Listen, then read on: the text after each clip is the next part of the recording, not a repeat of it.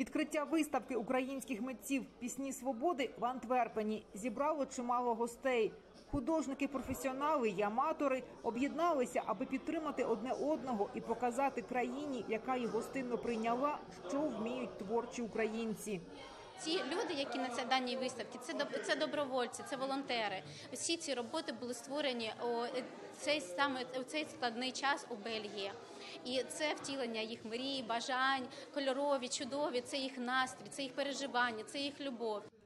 Пісні свободи втілилися на полотні у графіці, в скульптурі та навіть килимах. Народна майстриня з Миколаєва привезла традиційні вироби з півдня України і показала, як нитка за ниточкою складається візерунок.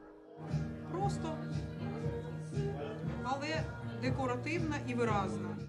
Виставка об'єднала художників з різних куточків України. Усі працюють у різних техніках, але меседж багатьох робіт дуже співзвучний. Це надія, любов та віра у відродження й українську перемогу. Навіть у пітьмі ми бачимо якусь надію. Ну тобто цей круговорот, який відбувається постійно.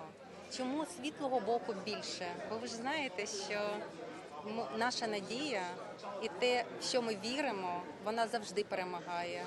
А в пітьмі ми завжди маємо і бачимо надію. Тому ми боремось.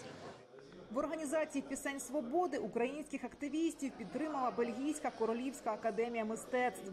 Допомогли зокрема з приміщенням. Культурна столиця Фландрії місце популярне. Навіть іменитим художникам тут доводиться чекати на місце під свої виставки по півроку. Але до українців ставлення дуже тепле, відзначають учасники заходу. Вони дуже надихаються нашим мистецтвом, тому що воно різноманітне, воно відображає українську душу, культуру, відображає наші емоції, наші переживання, наші страждання, які є. Але також воно несе і красу України.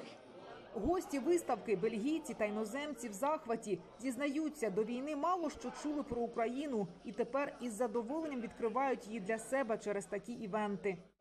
Я знаю власників, і коли почув, вирішив, що буде цікаво прийти. Позвав дружину. Це справді цікаво. Є дуже гарні роботи. Це жахливо, що ми маємо пізнавати Україну через війну.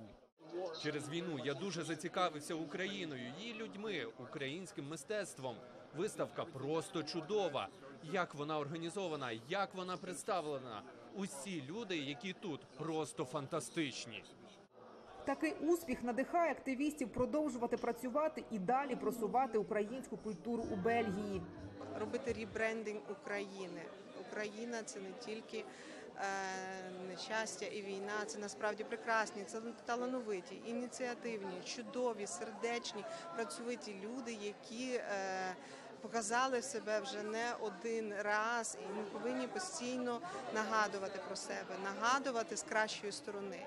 Виставка благодійна. Тато однієї з організаторок хірург у лікарні швидкої допомоги Дніпра, яка щодня приймає поранених бійців. Для них за зароблені від продажу картин кошти придбають лапароскопічне обладнання. Кілька робіт купили ще у день відкриття. Тож організатори сподіваються, що зможуть втілити свій задум. Ольга Жидецька, Олег Невядомський, Європейське бюро телеканалу Інтер, Марафон. Єдині новини.